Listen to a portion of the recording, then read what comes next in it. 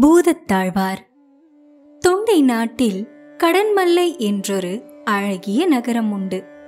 அந்நகரம் தற்போது மாமல்லபுரம் என்றும் மகாபலிபுரம் என்றும் வழங்கப்படுகிறது.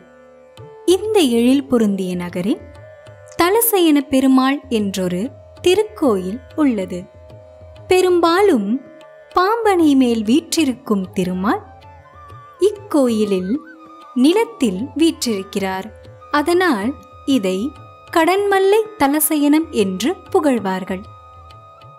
அத்தலத்தில் ஒரு குறுக்கத்தி மலரிலே சித்தார்த்தி வருடம் ஐப்பசி மாதம் அவிட்ட நட்சத்திரத்தில் பூதத்தாழ்வார் அவதரித்தார். அவர் திருமாலின் ஐம்படைகளில் ஒன்றான கௌமோதகி என்னும் கதையின் அம்சமாக அவதரித்தார். எந்நேரமும் திருமாலின் புகழை பாடுவதையே அவரின் மனம் விரும்பியது. வேறெதிலும் அவரது நாட்டம் செல்லவில்லை.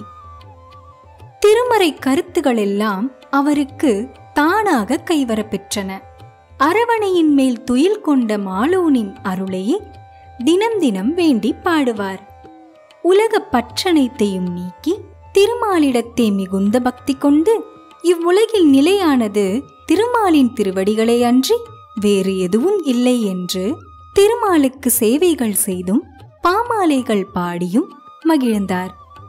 அவரின் மீது மிகுந்த பற்று கொண்டு ஆறா காதல் கொண்டு பாடியாடி அகம் குளிர்ந்து கண்ணீர் பெருகி அவ்விறைவனின் திருவடிகளுக்கு நாள்தோறும் பாமாலைகள் சாற்றி மகிழ்ந்தார். திருமாலின் திருப்பெயர்களை சொல்லிக் கொண்டும் திருமாலுக்கு சேவை செய்தும் வாழ்ந்து வந்தார் பூதத்தாழ்வார். இவர் எம்பெருமானை பற்றி நூறு பாடல்கள் பாடியுள்ளார்.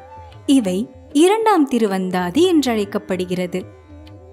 இவர் பிற ஆழ்வார்களுடன் இணைந்து பதினான்கு திருக்கோயில்களை மங்களாசாசனம் செய்துள்ளார்.